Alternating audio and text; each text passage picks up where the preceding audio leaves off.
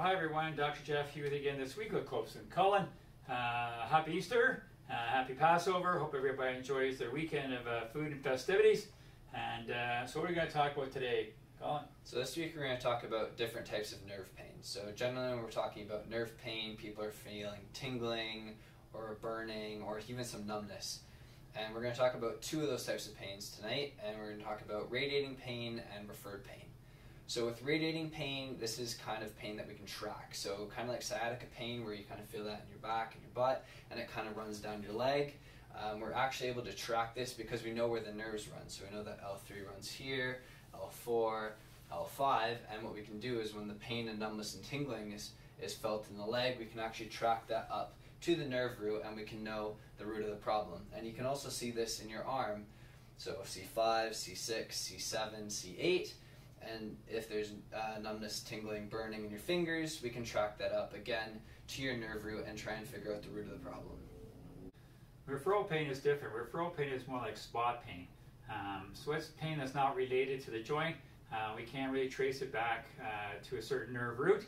And it's uh, you know something like a heart attack where we'll you know people that get a heart attack will quite often get jaw pain or, or shoulder pain, but we check out the jaw, we check out the shoulder, we can't find anything wrong with it, um, and we can't trace that nerve root back to anything. Um, similar to a, a, gallbladder or spleen issue or things like that can actually radiate to the shoulder or a pancreas uh, or a prostate can kind of radiate into the side. You know, we'll examine you, but we can't really find anything wrong. There's nothing happening there. Uh, orthopedic tests come out negative. Generally, that's telling us it's not a nerve root pain. It's not coming from a nerve root from your spine or, or anything. It's more just a, a hit or miss uh, type of pain.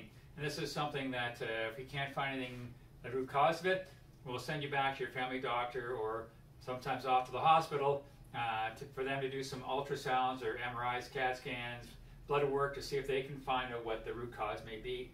Um, I had a patient one time that came in and, and uh, was complaining about having a, having a sore shoulder and uh, sore jaw. And uh, when I examined, I couldn't really find, he thought he had a rib out. And uh, when I examined him, I couldn't really find much going on. Uh, so I did say to him, I think you may be having a heart attack. We got to get you to the hospital. He had a previous heart attack um, years earlier. And uh, so he shipped him right off to the hospital. And sure enough, uh, he was having a minor heart attack. And that's something, again, that you know, we felt that I couldn't really find the issue that might be causing this pain, uh, this kind of nerve pain. And, uh, and said, I can't track it, so it must be something else. So sent him off. And, you know, he's fine.